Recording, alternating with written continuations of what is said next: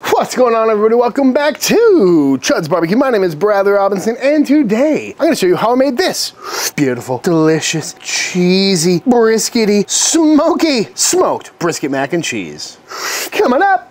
If you know me personally, you'll know that I'm not a big fan of mac and cheese. First of all, I think it's kind of boring, you know, it's just noodles in a cheese sauce. But more than that, back in the day when I was a full-time pitmaster at Leroy and Lewis, I built the smokehouse, I built the smokers inside of the smokehouse, I was breaking down whole animals, making great barbecue, custom sausages every week, and without fail, every day someone would come up to the window and be like, bro, love the mac and cheese. I'm like, dude, that took me 10 minutes to make. I don't know, it always rubbed me the wrong way. But that being said, on this channel, smoked mac and cheese is one of the most requested things I've gotten in the comments down below, and being a man of the people, that's what we're gonna make today and it is going to be delicious.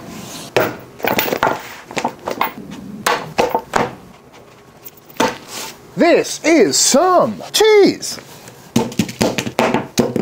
I've got some medium cheddar, some sharp cheddar, some Parmigiano Reggiano, some mozzarella, and some Gruyere. So the two cheddars, the mozzarella, and the Gruyere are all getting smoked. Parmesan is not.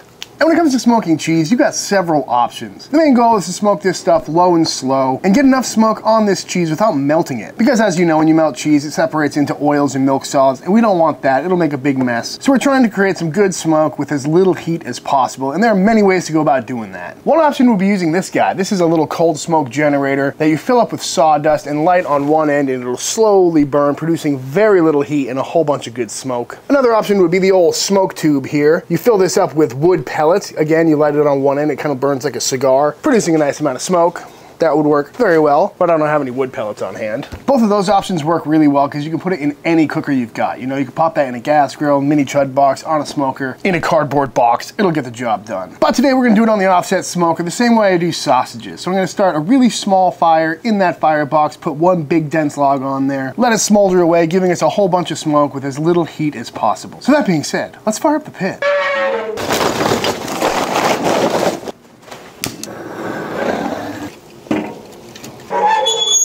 Now it's a pretty doom and gloom day here in Austin, Texas today, and I've been waiting for a day like this for a while because it's only about 85 degrees outside, which is a great change of pace. And something to look for because we really don't want this cheese to get too hot. This is a great thing to do in the winter months. Oh, there's a snake in my boot. Huh? Anywho, let's get this cheese on the pit. Make sure this cheese stays as cold as possible, I'm gonna go in with a foil pan full of some ice. And then on top we go with our beautiful cheese. Again, if you're anywhere other than Texas in the summer, the ice thing is probably not necessary, but can't hurt. So we're gonna keep this as low and as smoky as possible for the next three, four hours, and then we will check back in.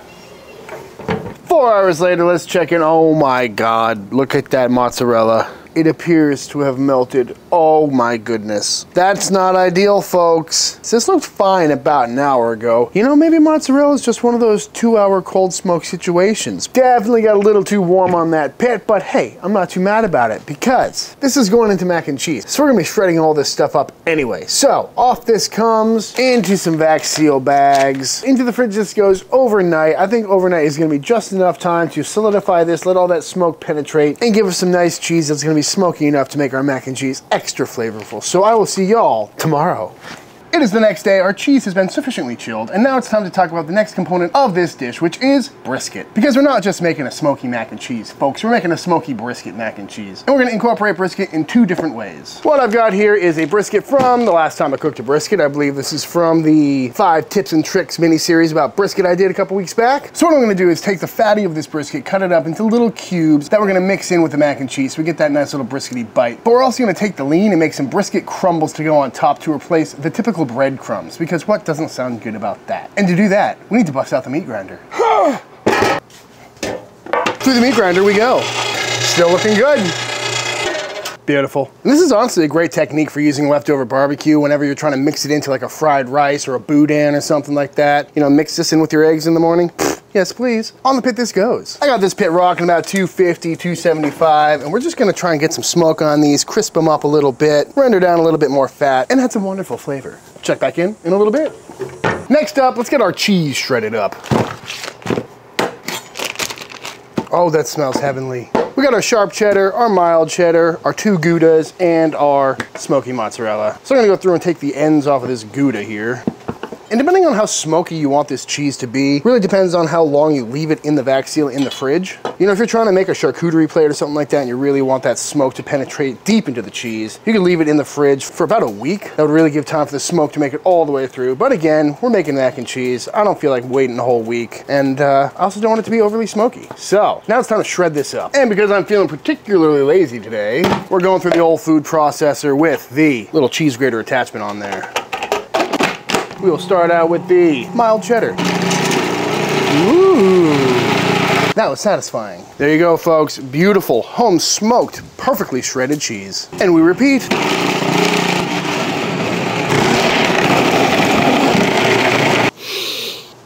When it comes to a cheese sauce for mac and cheese, traditionally it starts out with a roux, then some milk, turning it into a bechamel, and then some cheese, turning it into a Mornay sauce. But to be honest, I'm not a big fan of the traditional mac and cheese sauce. It's kind of bland, kind of gritty, kind of grainy, and the best mac and cheeses that I've had is more like mac and queso, to be honest. You can tell that it's full of Velveeta or American cheese, and it's just got that gooey, melty, stretchy deliciousness to it. So that's the approach we're gonna take today. And if you've been watching this channel for a while, you probably can guess what's about to happen. That's right, folks, we're making our own Velveeta style cheese sauce using all of our smoked cheese starting with a pot.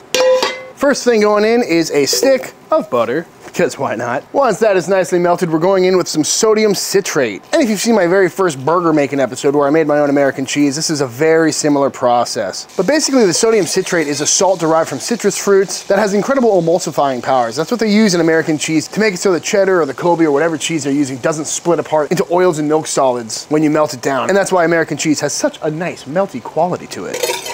Next going in is some classic flavors you're gonna see in most mac and cheese sauces, including a small amount of some freshly grated nutmeg, a nice shot of some Dijon mustard, a little bit of some white pepper, and a shake of some cayenne. Why not? Give that a nice little mixy mixy. Now we're going in with one little quart here of some heavy cream. And the main difference between this sauce and the American cheese I made in the other video is the amount of liquid we're gonna be putting into this. For American cheese, I wanted the minimal amount of liquid, so when I put it in a mold, it would solidify into a sliceable cheese. But today we're going for a cheese sauce, so we're gonna keep the consistency pretty loose and pourable. Well, I'm just gonna let this come up to a simmer. And now we go in with our cheese. Medium cheddar, some of our smoky sharp cheddar, some Gruyere, and some of our mozzarella. But mostly I think we're gonna keep this a pretty cheddar heavy mix. And we're just gonna melt this in until it comes up to a really nice consistency. And again, the amount of cheeses you add is completely up to you. If you wanna make this all cheddar, you could. If you wanted to make this all Gruyere. If I was gonna guess, I'd say this is probably gonna be about 60% cheddar, 30% Gruyere, and then 10% mozzarella. And once everything is fully melted, I'm gonna go in with this immersion blender here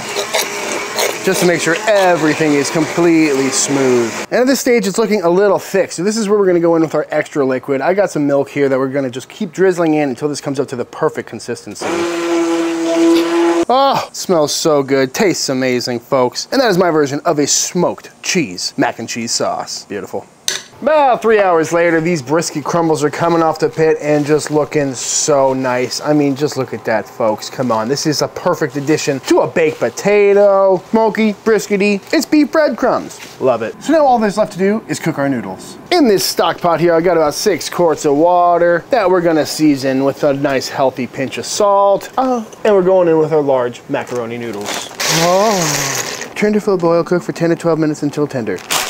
I'll see y'all in 10 to 12 minutes. 9.5 minutes later, these macaronis are fully cooked and coming out. Into a colander they go to drain off all the water. I'd stay one of these and it's kind of right at that al dente point where we want it. We don't want these fully cooked to mush at this point because we're gonna be cooking this a little bit more with that cheese sauce to make sure everything is nice and melty. So err on the side of undercooked at this stage. We've got all of our nudes in a bowl here. Now we're gonna go ahead and add our lovely cheese sauce and just look at that folks. Oh God, it's just so velvety velvety, so silky, so cheesy. So we're gonna just dump it. It's very hot. I gotta put on my little mitt.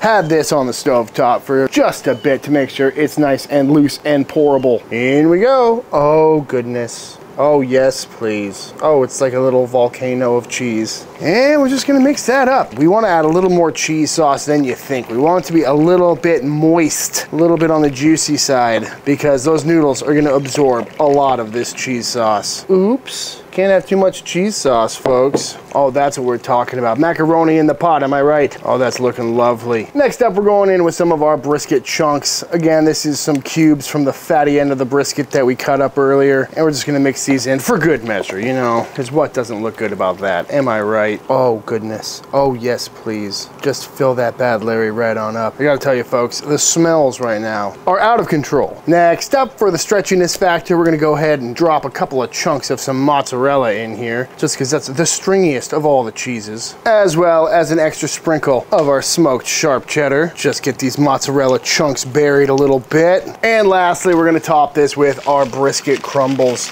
I'm telling you folks, these things are a game changer. The amount of applications that this stuff could be used for is endless. And then to finish her off, we're gonna go on with some freshly grated Parmigiano Reggiano. Really lock in that crust. Oh God, folks, it's a cheese overload. No complaints on this end. Now, onto the pit this goes for the next probably 20, 30 minutes, rocking right around 300 degrees on this pit behind me. And that's just gonna make sure everything gets nice and melted and combined. The brisket gets heated up, and then it'll be time to dive on in. Love it! And just like that, out of the smoker, this thing comes looking nice and bubbly, nice and cheesy. Got a little bit of cheese leakage on this side, but hey, happens. Ow. We're gonna let this rest down for a little bit, and then we'll dive on in. Let's just grab a little corner, shall we? Ooh. I mean, come on, folks. Nice and cheesy. Got that nice string pull. Brisket on top. Oh, I gotta get a plate. It's so gooey, so cheesy. Oh, look at that string pull. Nothing wrong with that. I tell you what. You know, one of my biggest things about mac and cheese is I hate when it's dry, and this is definitely not dry. That is gooey and cheesy and looking absolutely fantastic. The brisket crust, folks. Come on. Let's see how this came out, shall we? Oh. That is ridiculous. It's beefy, it's smoky, it's rich, it's creamy. I mean, it's everything you want a mac and cheese to be. Just like, oh, the cheese pulls, the brisket on top. Mm. Mm-hmm. God, that is fantastic. That's so good. Mm. Honestly, the whole time I was worried that this was gonna be overly smoked with the smoked cheese and the brisket, finishing it on the smoker, but really it's quite subtle. Like the sharpness of the cheese is what I taste the most. And the fact that it's made with just sharp cheddar, mild cheddar, and Gruyere gives this incredible flavor. So cheesy, so gooey, but it still has that nice creamy texture that you get from something made out of American cheese. This is decadent, to say the least. Mm. The beefiness is strong. Ooh. I'm gonna eat a lot of this off camera in shame. But before I go, I think it's time for the official taste test. Grab a little ball of mac and cheese here. Toss that in your deep fryer. How you doing? All right, y'all, and that is it. That is how to make some absolutely fantastic smoked mac and cheese full of brisket, made with cheese that you smoked yourself, turned into your very own smoky Velveeta cheese sauce, studded with brisket, topped with a beautiful brisket crumble. I highly recommend giving this recipe a try. It is absolutely fantastic, and probably the best barbecue mac and cheese I've ever had. And that being said, there are so many variations to this. You can throw some pulled pork in there, put some bacon bits on top. The world is endless when it comes to mac and cheese. But that being said, if you enjoyed this video, let me know by hitting that subscribe button. Let YouTube know by dropping a like on this video. Feel free to drop a comment down below letting me know what you want to see me cook next. If you do give this recipe a try for yourself, be sure to tag me on Instagram at Chud's Barbecue. I'd love to see what y'all are cooking. Big shout out to all the Patreon members. Thank you for supporting Team Chud and allowing me to keep making all these videos. And until the next time I see you, please go cook something outside. Peace!